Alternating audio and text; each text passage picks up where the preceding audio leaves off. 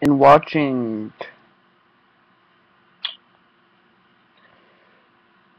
yesterday's Raw, I realized that WWE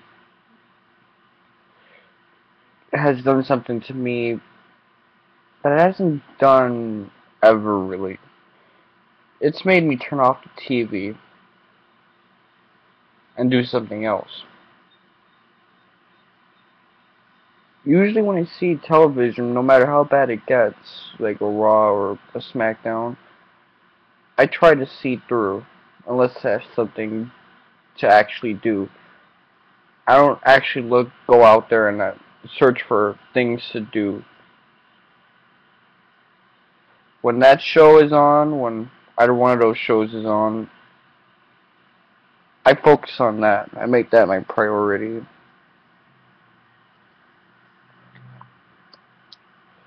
But this Raw was terrible, which everyone kind of expected. But the reasons I consider it terrible, the first one being obvious, is the corniness of it all. For a Raw in 2013, I don't really expect this level of corniness. The level of corniness I received here is more fitting for a 2010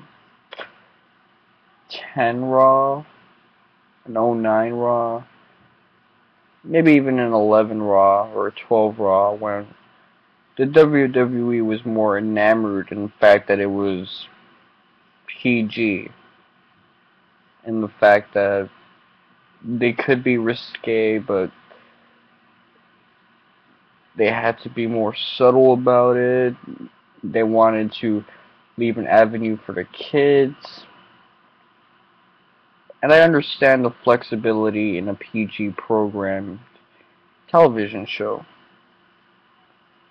But I also know that this isn't good TV this Raw was pre-recorded, it wasn't live because everyone was taking a well-deserved break from their 300 day a year's work schedule.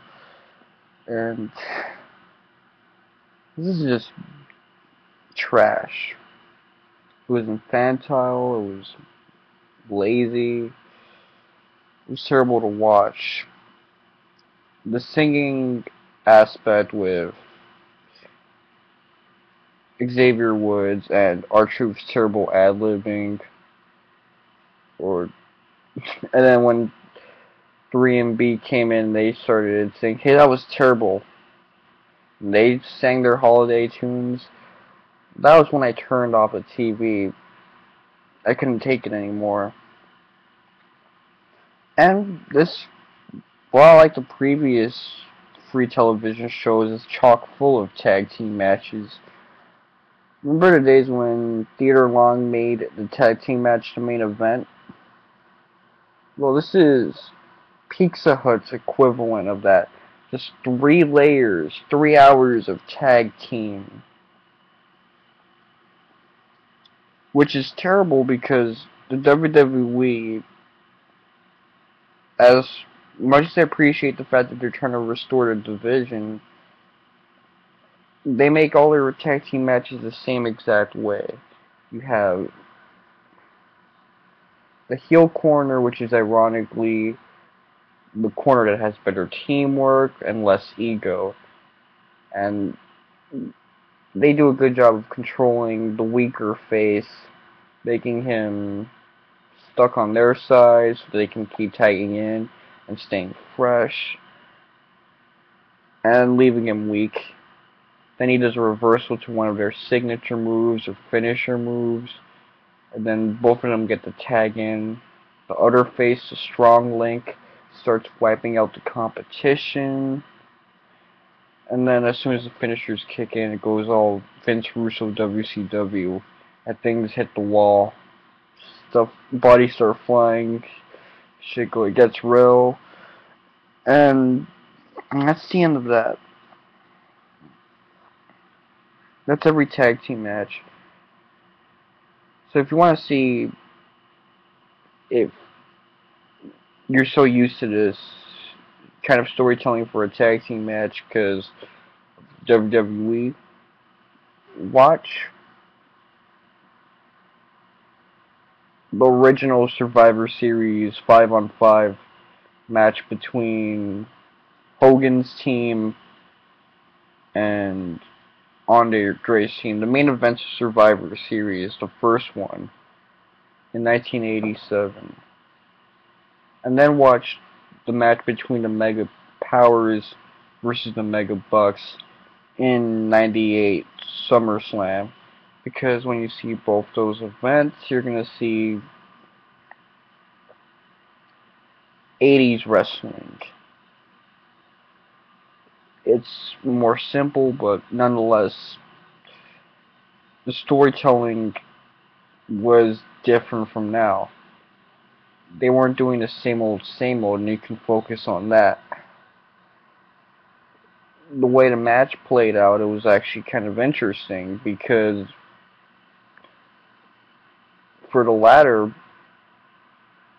the faces managed to win in a cheap fashion, and with the former, he managed to get an interesting sort of face squash where it ended up being a one on three with one face versus three heels.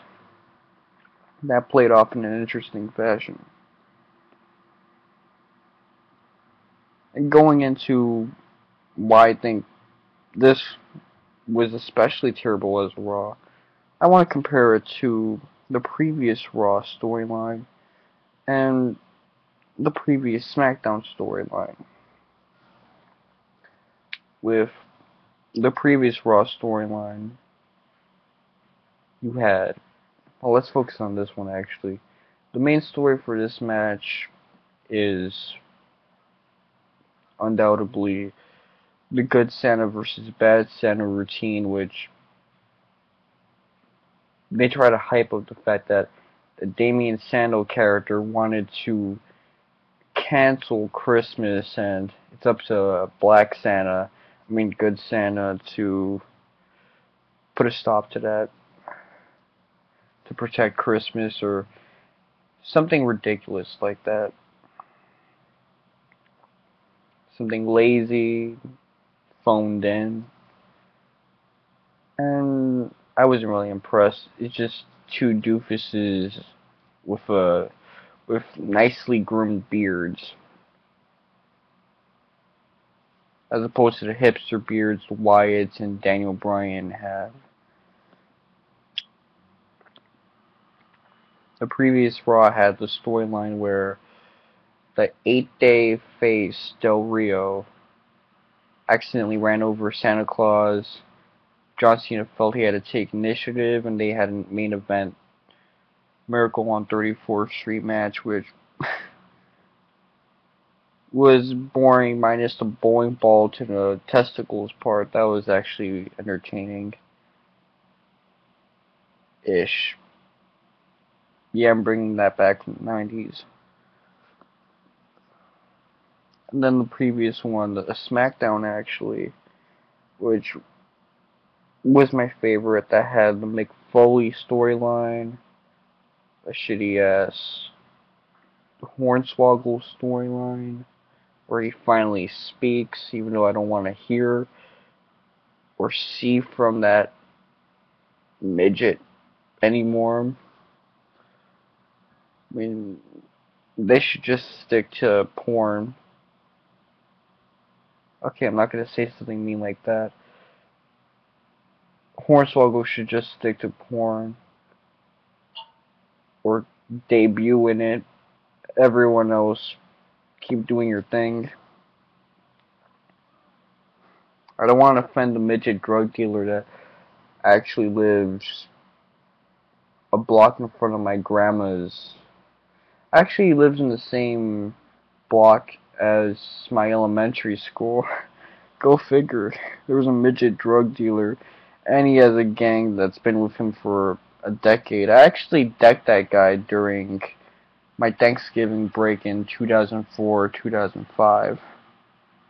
I'm an asshole. I'm sorry, guys. Not everything I'm saying is true.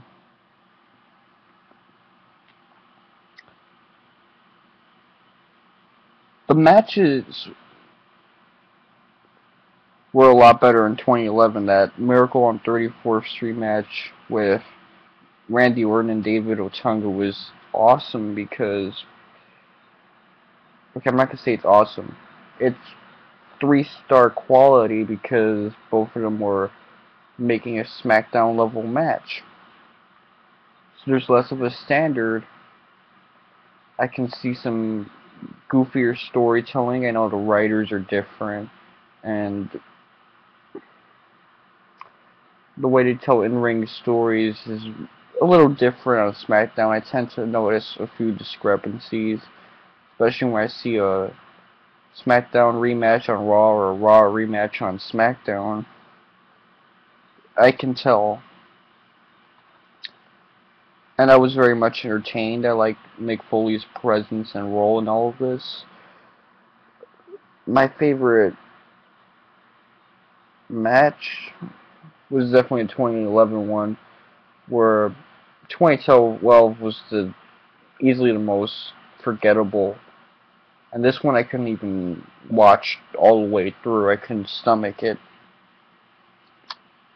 And really what made SmackDown 1 better is the fact that it was a two-hour program where both the holiday-themed Raws are three-hour programs, which brings up a truth that Raw has finally gotten used to three-hour programming, except for themed shows for some reason. When there's a theme attached, all of a sudden they lose all their skill and booking and start going lazy and half-assing it. And you're not supposed to half-ass a three-hour show. A two-hour show you can half-ass and make a holiday theme. A three-hour show you can't. You have to work twice as hard for 50% more programming. Since if you had half to two, two and two, one and one half, essentially, the equation, you get three. So, busting your ass a little harder than usual.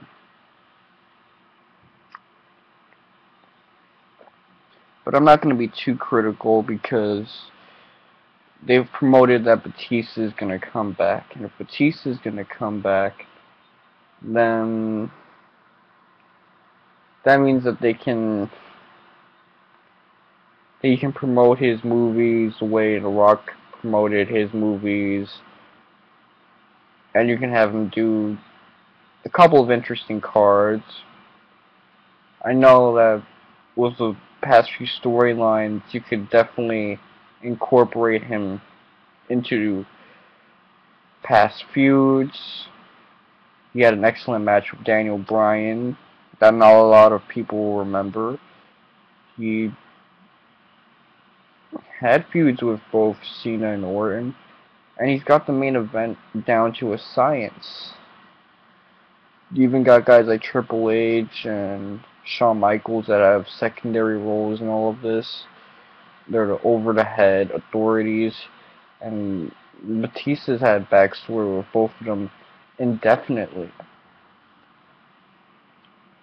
So what I have to say is, I honestly can't wait until that Raw happens, because holiday programming just isn't for me.